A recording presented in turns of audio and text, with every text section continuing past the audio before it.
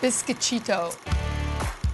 As a female entertainment journalist of Niagara Falls, I sometimes wonder oh. do I like the good boys? It's my creamy goodness smile. Or those with a little edge? I couldn't answer that. I'd get arrested. But when I interviewed poker superstar Daniel Negreanu, I didn't know what to think. You a fool. Oh, you a fool. Because his edge was my panties. I'm Melissa DiMarco, and my life is out there.